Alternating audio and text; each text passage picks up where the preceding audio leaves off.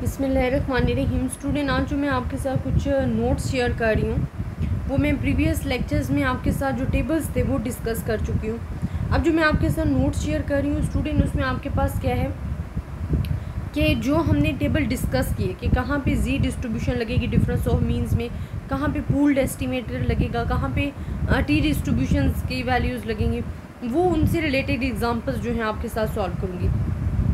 Student मैं again आपको बताती जाऊँ ये जितनी भी चीज़ें मैं आपके साथ शेयर कर रही हूँ नोट्स शेयर कर रही हूँ ये ऑलरेडी मैं आपको पढ़ा चुकी हूँ। बोर्ड पे भी पढ़ा चुकी हूँ आपके साथ वैसे भी नोट्स शेयर कर चुकी हूँ और बीएससी और एफएससी वालों के लिए सेपरेट पढ़ा चुकी हूँ। ये कुछ इंपॉर्टेंट नोट्स थे जो मुझे लग रहा था कि मुझे आपके साथ शेयर करने चाहिए। ऑलरेडी uh, मैं आपको सीक्वेंस वाइज फुल वन से लेकर नाइन्टी थ्री पेजेस जो आपके पास ये नोट्स के थे मैं आपके साथ शो करवा चुकी हूँ लेकिन मैं कुछ पार्ट आपको जो मुझे अंदर अंदर से इंपॉर्टेंट लग रहे थे, वो मैं आपके साथ शेयर कर रही हूँ, आपको खुद सॉल्व करवा रही हूँ, ताकि जो स्टूडेंट्स हैं, उनको किसी किस्म की कन्फ्यूज़न ना रहे। अब स्टूडेंट हमारे पास क्या है कि test of hypothesis for difference between population means क्या है? अब स्टूडेंट हमारे पास अगर टू पॉपुलेशन गिवन हैं, और वहाँ से हमने X bar samples average mean भी फाइंड करना है, वहाँ से हमें टू सैंपल साइज़ भी गिवन होंगे n one and n two भी गिवन होगा, और स्टैंडर्ड डिविएशन भी। लेकिन पूल्ड एस्टिमेटर आपने कहाँ यूज़ करना है, अगर तो वो खुद कह दें, या अगर आपके पास पॉपुलेशन सेम है और उसमें से टू सैम्पल्स कलेक्ट किए गए अगर पॉपुलेशन सेम है और टू सैम्पल्स कलेक्ट किए गए तो इट्स मीन आप पूल्ड एस्टिमेटर वहाँ फाइंड करोगे। एक चीज़ और हमेशा याद रखें स्टूडेंट कि जब भी आपको हाइपोथेसिस बनाने पड़ते हैं, जो हाइपोथेसिस में आपको गिवन होता है, वो आपको हमेशा अल्टरनेटिव हाइपोथेसिस जो होता है, वो गिवन दिया जाता है। कभी भी नल हाइपोथेसिस आपको नहीं दिया जाता क्लेम में। अब वो कहते हैं the average marks of twenty students in math आपके पास one zero one of section A जो है and section with section A are fifteen with standard deviation is two अब आपके पास एवरेज मार्क्स जो हैं वो आपको क्या दे दिए गए हैं स्टूडेंट फिफ्टी दे दिया गया है एक्स बार ठीक है?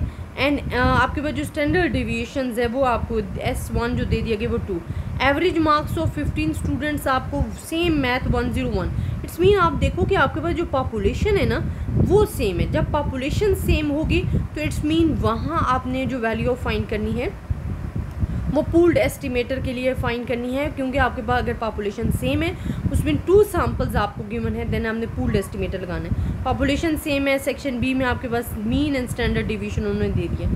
अब वो कह रही हैं कि आपने फाइंड क्या करना है कि जो सेक्शन ए है, वो perform better than section B section A को हम म्यू वन से शो कर रहे हैं एंड सेक्शन टू को। वो कह रहे हैं सेक्शन ए जो है, वो बेटर परफॉर्म कर रहा है। तो बेटर परफॉर्म कर रहा है तो इसको हम ग्रेटर की तरफ़ करेंगे। As compare to section two अगर आप इसको सेकेंड ये भी आप सिचुएशन लिखते हो कि mu one minus mu two is greater than zero भी आप कर सकते हो। तो ये हमारे पास हाइपोथेसिस बन जाएँगे। और आपको हाइपोथेसिस कौन सा गिवन होगा क्वेश्चन में? अल्टरनेटिव गिवन होगा। नल इसके अगेंस्ट ले लोगे। अब सेकेंड स्टेप होता है लेवल ऑफ़ सिग्निफिकेंस वो आपको गिवन है five percent and test statistic आपको पूल्ड एस्टिमेटर लगाना है because we have the same population and selecting the two samples जब पॉपुलेशन सेम होगी और आप सेलेक्ट कर रहे हो टू सैम्पल्स को, वहाँ हमने पूल्ड एस्टिमेटर को लगाना होता है. अब आपने क्या करना है स्टूडेंट पूल्ड एस्टिमेटर के लिए जो आपको फार्मूला है क्योंकि आपको एस वन भी गिवन है एस वन टू भी गिवन है एन टू भी गिवन है एन वन भी गिवन है। आप वैल्यूज़ पुट करो और आंसर ले लो। और डिग्री ऑफ़ फ्रीडम आपको पता है, हम ऑलरेडी प्रीवियस ग्राफ में भी डिस्कस कर चुके थे। हमने जो टेबल पढ़े हैं ग्राफ पढ़े कि जो डिग्री ऑफ़ फ्रीडम होता है, वो n one plus n two minus two होता है। अब आपके पास पूल्ड एस्टिमेटर आ गया। आप ये फार्मूला भी यूज़ कर सकते हो और पूल्ड एस्टिमेटर के लिए ये फार्मूला भी आप यूज़ कर सकते हो। वो आपकी अपनी चॉइस है। अगर आपको ऑब्जर्वेशन गिवन होती तो आप estimation of X minus X bar का होल स्क्वायर वाला फार्मूला यूज़ कर दें। क्योंकि आप आपको डायरेक्ट एस वन गिवन है तो आपके लिए जो ईजी है, वो ज़्यादा आप इसको प्रेफर करोगे कि आपके पास ये ज़्यादा ईजी है as compare to other formulas अब कैलकुलेशन आपने की कैलकुलेशन आपने सिंपली अपने वैल्यूज़ पुट की है, और आपके पास जो आंसर आ रहा है वो अलेवन पॉइंट एट थ्री आ रहा है। क्रिटिकल रीजन अगर आप फाइंड करते हो तो आपके पास one point six nine two आ रहा है। इट्स मीन कि ये फॉल कर रहे हैं रिजेक्शन रीजन में। अच्छा ये रिजेक्शन और एक्सेप्टेंस रीजन क्या होता है? कि टी एंड जी डिस्ट्रीब्यूशन में आप नॉर्मेलिटी यूज़ करते हो नॉर्मल पॉपुलेशन यूज़ हो रही होती है। अब यहाँ mu is equals to zero होता है। आपके पास जो वैल्यू आई है टेबल वैल्यू वो आई है one point six nine two इससे जो आगे ग्रेटर हमारे पास वैल्यू है। वो हमारे पास क्या आ रहा है? रिजेक्शन रीजन है। और ये जो हमारे पास तमाम एरिया है, वो आपके पास एक्सेप्टेंस रीजन अब अपनी वैल्यू देखो, आपके पास आया eleven point eight three eleven point eight three यहाँ पर कहीं लाई करेगा। इट्स मीन वो फॉल करेगा रिजेक्शन रीजन में क्रिटिकल रीजन में। तो जब वैल्यू फॉल करी in the rejection region so we reject H naught and accept यही सेम चीज़ इन्होंने आपको टेबल या ग्राफ में बना के दिया जो कि आपने माइंड में रखनी है। और जब तक आप टेबल या ग्राफ नहीं बनाओगे, आपको नहीं पता चलेगा कि हमने कहाँ पे एक्सेप्ट करना है वैल्यू कहाँ पे रिजेक्ट करना है? अब अगर स्टूडेंट इसी का हमने कॉन्फिडेंस इंटरवल फाइंड करना है तो कॉन्फिडेंस इंटरवल का आपको फार्मूला पता है। अब आपको तमाम चीज़ें भी फाइंड करने आ गई हैं एंड वन आपको गिवन था एंड टू गिवन था। पूल्ड एस्टिमेटर जो हमने फाइंड किया, पूल्ड वेरिएंस जो फाइंड किया, वो भी आपको वैल्यू ऑलरेडी गिवन थी। डिग्री ऑफ़ फ्रीडम आपने लेनी है पूल्ड एस्टिमेटर कॉन्फिडेंस इंटरवल के लिए।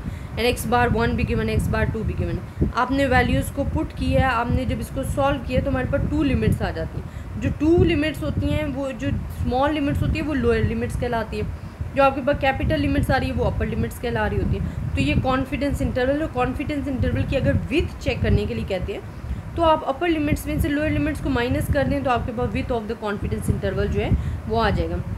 और कॉन्फिडेंस इंटरवल होते हैं कि आपकी जो वैल्यूज़ हैं वो इन दो वैल्यूज़ के दरमियान लाई करेंगी।